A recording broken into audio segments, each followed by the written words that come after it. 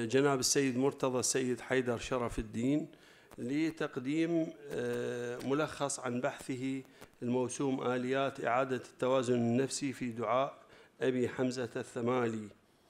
آه، الباحث السيد مرتضى السيد حيدر شرف الدين من لبنان هو طالب في الحوزة العلمية آه، وأستاذ لمواد الصرف والنحو والبلاغة والقواعد والمنطق والفقه وال علم الكلام وأصول الفقه. آه، إضافة إلى ذلك فإن في نشاطه الأكاديمي في نشاطه الأكاديمي فهو حائز. حائز على الإجازة التعليمية البكالوريوس في اللغة العربية وآدابها آه، وآدابها العفو والبكالوريوس في علم النفس وطالب ماجستير في علم النفس المدرسي وله عدد من من الشهادات وورش العمل آه، التدريبية. فاهلا وسهلا بجناب السيد آه، يتفضل فيتحفنا في العشر دقائق هذا المضمون التطبيقي آه، في قراءته لدعاء أبي حمزة الثمالي تفضل جناب السيد حلت البركة. شكرا لكم. بسم الله الرحمن الرحيم. وبه نستعين الحمد لله رب العالمين وأفضل الصلاة وأتم التسليم. على أشرف الخلق وأعز المرسلين. حبيب إله العالمين سيدنا ونبينا حبيب قلوبنا شفيع ذنوبنا طبيب نفوسنا أبي القاسم المصطفى محمد. اللهم صل على محمد وآل محمد. وعلى آله الطيبين الطاهرين المعصومين المظلومين واللعنة الدائمة على أعدائهم أجمعين. أولا في هذا الصرح المبارك قبل أن أتوجه إليكم أتوجه إلى سيد هذا الصرح.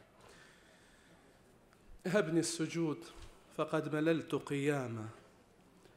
صلب تقصفه الخطوب جساما.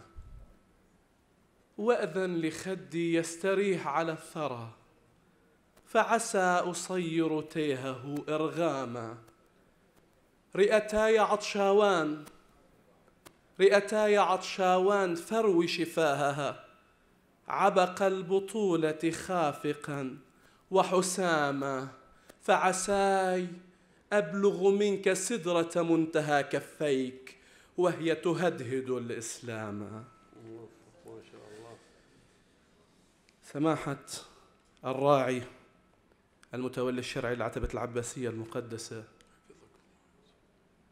أصحاب السماحة الفضلاء العلماء المحققين الأساتذة الباحثين أيها الحضور الكريم السلام عليكم ورحمة الله وبركاته. السلام ورحمة الله وبركاته. شرف لي أن أكون في خدمتكم وأشكر العتبة العباسية المقدسة على هذا الجهد المبارك الحقيقة. أسبوع الإمامة حلم يراودني منذ سنين ولم أكن أجد إليه سبيلا إلى أن تحقق الحلم ببركة هذه الجهود. طبعا أنا كفيتكم مؤونة ضبط الوقت. أضبط الوقت على العداد. تفضل هذه من جهة. من جهة أخرى بالنسبة إلى موضوع البحث. الدخول شائك أصلا في موضوع البحث. البحث هو تجربة عمرها أكثر من عشر سنوات بدأت في ليالي القدر وأنا أنفذ ملاحظة ضمن العمل في الإرشاد النفسي ملاحظة نفسية للحضور في المساجد. فترى الانفعال ينتقل مع فقرات الدعاء من فئة إلى فئة كلما قارب الفقر مأزما من مآزم أحد منهم فكانت هذه الفكرة تتردد إلى أن أنضجتها السنين على مدى 12 عاما وصلنا إلى نتيجة هذه الباكورة اللي هي مقدمة للعمل في هذا المجال أما لماذا اخترنا القلق؟ القلق هو المهدد الأبرز للتوازن النفسي لأن القلق اضطراب محوري تتقاطع عنده الاضطرابات النفسية على اختلافها. القلق محطة أولى تنطلق منها الاضطرابات ثم تتفاقم لتفرز وسواس قهري اكتئاب وصولا إلى الاضطرابات الذهانية كالفصام وغيره. فاذا البدء من هنا وللسيطرة على اضطراب القلق لا بد من النظر إلى مناشئ القلق المتمثلة في الخلفية المعرفية والانفعالية التي ينطلق منها الإنسان في نظره إلى نفسه ومحيطه ببعديه المكاني والزماني والذي يشكل نقاط ضعف داخل شخصية هذا الإنسان. نقاط ضعف بالاتجاه السلبي بأن تكون مخوفة يعيش الإنسان هاجس ترقبها واحتمال مواجهتها أو بالمقلب الإيجابي بأن تكون مرغوبة بحيث لا يستغني الإنسان عنها ويعيش هاجس فقدها. إن الإنسان خلق هلوعا إذا مسه الشر جزوعا وإذا مسه الخير منوعا. قاعدة القرآنية. بين هذين الاتجاهين يسيطر هاجس جامع هاجس فقدان السيطرة على مجريات الحياة. من أين يأتي هذا الهاجس؟ من توهم الإنسان أنه مستقل بصناعة واقعه مع إدراكه لضعفه وعدم ثبات سيطرته على مجريات الأمور ومع غفلته عن وجود المدبر المطلق القدرة والحكمة يعيش اضطرابا لأن المسيطر غير مسيطر. وقد عالجت أدبيات أهل البيت عليهم السلام هذه المشكلة بمختلف مناشئها وموضوعاتها واتجاهاتها. ووضعت لها اطارا نظريا يشخصها ويبصر الإنسان بعوارضها ومناشئها. على رأس هذه الأدبيات في هذا المجال دعاء السحر الكبير للإمام زين العابدين عليه السلام المنسوب والذي تشرف بنسبته إليه أبو حمزة الثمالي. داخل الدعاء إذا فككنا وهذا ما فعلنا في هذا البحث فككنا الدعاء ضمن الحقول المعجمية. طلع عنا محور تفريغ ورصد من خلال لسان الداعي في فقرات توصف مناشئ القلق بحيث تحرك مكامنه عند الداعي بعملية تلقين فيرصد عندها الداعي منشأ الاضطراب. يعني تشوف واحد لما يوصل ارحمني صريعا على الفراش تقلبني أيدي أحبتي تشوفه انفعل هذا عنده قلق المصير قلق المستقبل. واحد ثاني لا ساكت عند هذا المقطع. عند أنا صاحب الدواهي العظمى أنا الذي على سيده اشترى يؤخذ. هذا عنده قلق الماضي الملفات غير المسوات. وبالتالي رصد مناشئ القلق وبنفس الوقت تفريغ وظيفة التفريغ عم تتم لأن هذا القلق موجود متضخم داخل الذهن داخل الشعور واللا شعور عند الإنسان على حد سواء. عندما يعبر عنه تعبيرا لفظيا يكون قد أعاد جمعه مجددا وجسده إضافة إلى أمر يتميز فيه التفريغ. عند الأئمة عليهم السلام عن التفريغ الشائع في مدارس علم النفس وهو أن التفريغ ليس مجرد تعبير عن الأزمة إعادة تشكيل للأزمة وهذا يسوقنا إلى المحور الثاني العلاج المعرفي. في دعاء أبي حمزة الثمالي عندنا مواقع للعلاج المعرفي.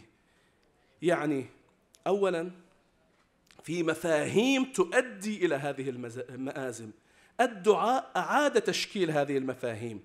يعني نلاحظ مثلا فلسفة الخير والشر. أين الخير وأين الشر؟ وهل هناك شرور مطلقة وخيرات مطلقة؟ بأول الدعاء إلهي لا تؤدبني بعقوبتك. الشدة تأديب طلعت. ولا تمكر بي في حيلتك. الرخاء طلع مكر.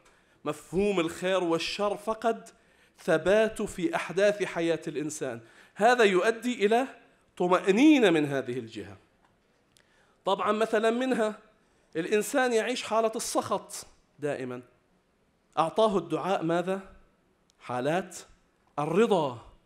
غير له مفهومه كرس العبودية عنده كمفتاح للراحة النفسية. يابا أنت مش مسيطر على الأحداث. فالضعف ما بيأثر عليك. من أين لي الخير يا رب ولا يوجد إلا من عندك؟ ومن أين لي النجاة ولا تستطاع إلا بك؟ هذا بيعمل طمأنينة عند الإنسان فإذا أنا الضعيف لست المسيطر على مجريات الأحداث. ولذلك هذا يؤدي إلى طمأنينة. يعيش الإنسان في ثنائية الذل وفقد الدالة لقصوره وتقصيره.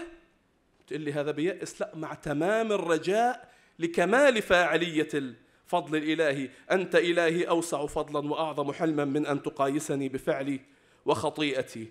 هنا ينتقل الإنسان من السخط إلى الرضا فيتراجع منسوب الإحباط لأنه يشعر بالقرب لكمال فاعلية الفاعل وأن الراحل إليك قريب المسافة. بعد أعطاه أسباب اللي بتأدي إلى البعد حتى يتجنبها. لقنوا.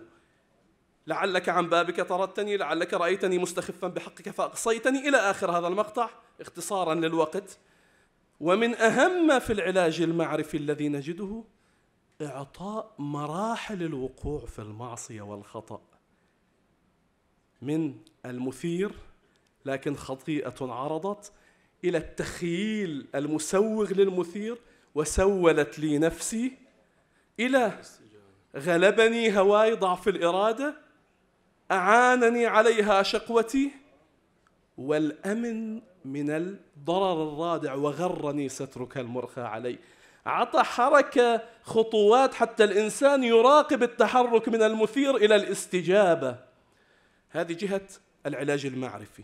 وطبعا تعرضت خلال البحث إلى بعض مدارس العلاج المعرفي السلوكي مثل مدرسة العلاج العقلاني الانفعالي ألبرت أليس بخطواتها مع الإشارة إلى أنه لا قياس بين من يعتمد على التجربيات باستقرائها الناقص وبين من يعتمد على الحقائق الوحيانية القائمة على تركيب الإنسان في واقعه ونفس أمره.